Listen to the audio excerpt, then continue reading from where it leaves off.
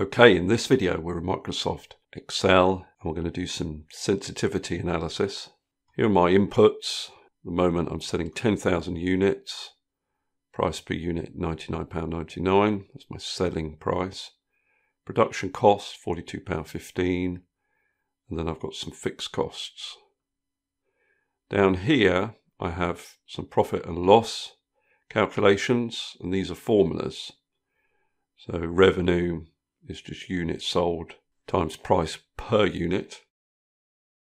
Cost of sales is the units sold times the production cost per unit. And gross profit is just your revenue minus your cost of sales. Fixed cost, is just the sum of these fixed costs here. And then my net profit is my gross profit minus my fixed costs. So those are all standard calculations. And the reason I'm going through these calculations with you is because when we use data tables to do our sensitivity analysis, Excel needs to understand the relationship between these inputs. And the relationship is explained via these formula. Now, first of all, I want to base my sensitivity analysis on selling price. So I've created for myself a column of different prices. And in the column to the right, what I'm going to do is specify the calculation that I want to base my sensitivity analysis on. Now I want to calculate net profit based on all of these selling prices. So in this cell here, I say equals, and then click into that net profit calculation. Then what I do is I select this little table here. I go to the data tab on my ribbon, go over to what if analysis, and then choose data table. Now there are two possible inputs, a row input or a column input. It's pretty easy to tell what you're actually going to use in a given scenario. My selling prices are all in this column, so I have a column input. But the column input needs to relate to the input in this table, and the cell that contains the selling price within this table is C4. So my column within this table relates to the input in C4. And because I have this formula down here for net profit, which I'm pointing to here, Excel understands the relationship between this value and my net profit calculation. So if I click on OK, it does the calculation for each selling price. And you can see at £99.99, I get the same result as I have down here, but I can also see the net profit for different selling prices. Now I'm just going to delete that and I'm going to add another calculation to this analysis. I also want to perform calculations based on gross profit.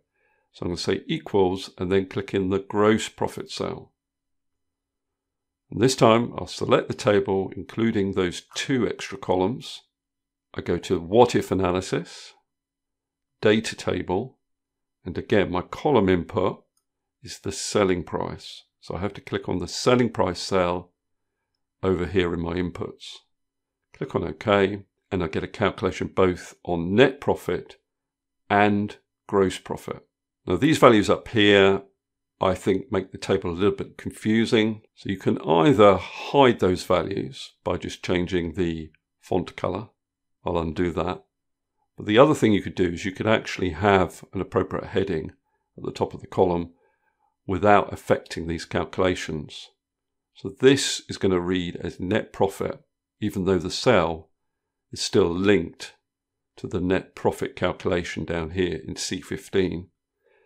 So with that cell selected, I'm going to use Control 1 to open up Format Cells. And I'm going to go to Custom, delete what's currently in the type box, and in quotation marks, just write net profit. And then this one, I'm going to do the same for, but write gross profit.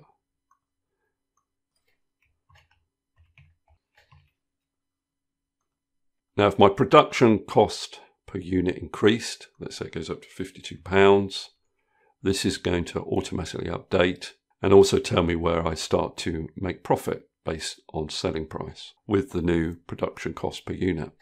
Now, this is known as a one variable data table. Our one variable is the selling price. You can actually have two variables. So here I'm going to perform the same calculation for net profit. My two variables are selling price and units sold. So I've got selling price as my column input and units sold is my row input.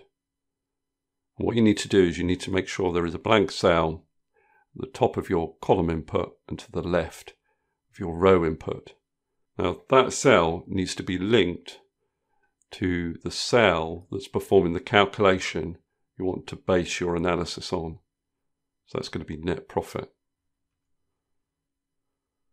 Now once you have that in place, what you do is you select this entire table, contains your two variables. You go to Data, What If Analysis, Data Table. So my row input, which is units sold, I reference in this input table again, and that's going to be C3. My column input, which is selling price, I also reference in my inputs table, and that's the selling price per unit in C4.